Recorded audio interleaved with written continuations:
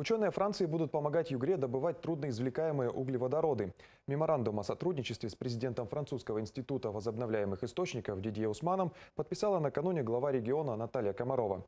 Иностранные коллеги недавно посещали Югру и уже смогли подробно изучить, как можно развивать нефтедобычу в нашем округе. В частности, они предлагают создавать образовательные программы для специалистов отрасли, применять новые технологии нефтедобычи трудноизвлекаемых залежей, а также совершенствовать природосберегающие технологии в бурении.